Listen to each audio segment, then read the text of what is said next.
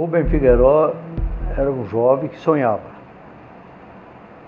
Um jovem que acreditava que o Brasil seria realmente o país do futuro. Era recém-formado advogado, mas não pude efetivamente exercer a profissão senão por algum tempo. Na época, 1964, eu substituí o meu pai numa empresa pioneira no meu estado, na área da indústria frigorífica. O estado de espírito do povo era de temor, de que se implantasse aqui no país um regime de exceção dominado pelas esquerdas, que eram, eram presentes mesmo, elas existiam e elas queriam subverter a ordem.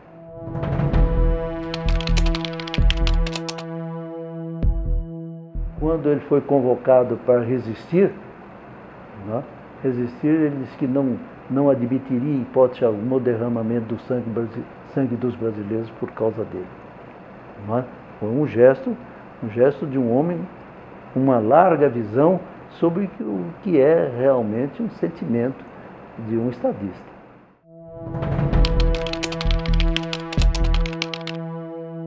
Ele tomou algumas providências, induzido pela sua assessoria, que ameaçavam a estrutura social, econômica do país.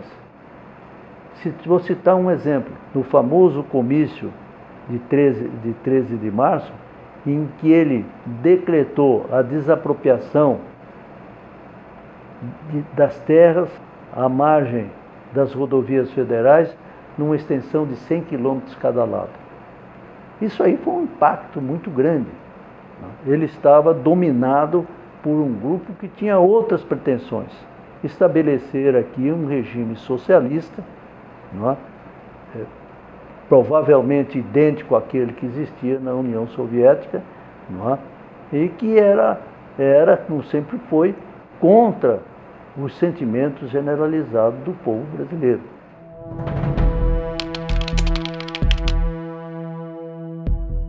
Não foi um golpe, foi um movimento civil baseado na Constituição de 1946, que estabelecia determinadas regras para o impeachment do presidente, que foram cumpridas. Se tivesse um substituto natural, um vice-presidente, mas não havia na ocasião, então assumiu o presidente da Câmara, Ranieri Mazzilli. Foi realizada uma eleição, uma eleição que existem dúvidas a respeito da legalidade dela, não é? Porque é, a Constituição não previa naquela ocasião a eleição, a eleição pelo Congresso Nacional. Grupos da chamada linha dura começaram a fazer pressão na direção do governo. Tanto assim tanto assim que o presidente Castelo Branco, na primeira manifestação dele, ele disse que seria mantida a eleição de 1965. Os candidatos, de um lado era então Carlos Lacerda e do outro lado era o ex-presidente Juscelino Kubitschek, que estavam iriam disputar o poder. Mas pressão, pressões ocultas, vamos dizer assim, começaram a surgir sobre o presidente Castelo Branco, que, no meu entendimento, não teve a, resistência necessária e a primeira coisa que ele fez é, foi o, o, publicar o ato institucional número 2, eliminando os partidos políticos e, e, e criando dois partidos fictícios, porque não tinha expressão de uma base nacional, de sentimentos nacionais, a Arena e o MDB, é? ele desestruturou todo o sistema democrático. E a partir daí é que se estabeleceu a, os pilares do golpe militar.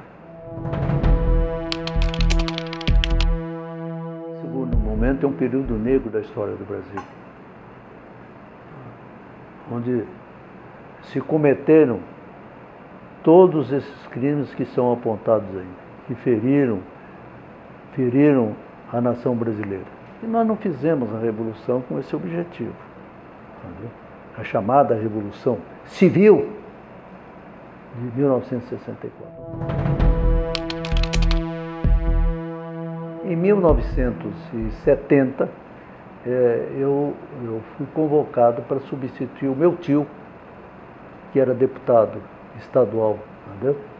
para representar a região dele, e, e, ingressei nesse mesmo grupo do que eu participava, que estava, estava, estava hospedado, vamos dizer assim, na chamada uh, Arena 1, que era a arena da UDN. E em 1980, em companhia do senador José Fragelli, do senador Saldanha Derzi, nós rompemos com o governo. Foi a primeira, primeiro rompimento oficial de parlamentares federais contra o sistema militar existente. E eu sei quanto que eu sofri. Brasil está tirando, tirou lições. É bom aluno o Brasil. Muito bom aluno o Brasil. Porque nós tivemos a grande oportunidade de realizar a Assembleia Nacional Constituinte, Constituinte da qual eu participei. Eu sou um dos signatários e honro muito disso. Me emociono até de ser um dos subscritores da Constituinte, que criou para o Brasil uma aura de liberdade para que todos nós brasileiros pudéssemos ter a consciência de nós mesmos e ser respeitados pelos nossos concidadãos. Foi muito importante. Se não houvesse democracia, se não houvesse esses instrumentos de comunicação social que nós temos, entendeu? o Brasil talvez estivesse vivendo o que está ocorrendo hoje na Venezuela.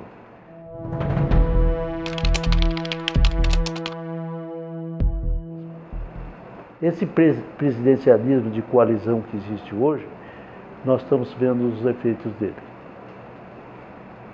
Não se prega uma doutrina, se prega o atendimento de interesses. Muitos deles interesses escusos.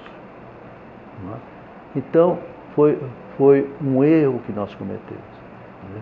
Se nós tivéssemos num regime parlamentarista, sem dúvida nenhuma não aconteceria o mensalão sem dúvida nenhuma, aconteceriam esses desregramentos que a nação está tomando conhecimento hoje da Petrobras. O parlamentarismo não permitiria. Porque no dia seguinte, o primeiro-ministro responsável estaria na rua, execrado pela vontade popular.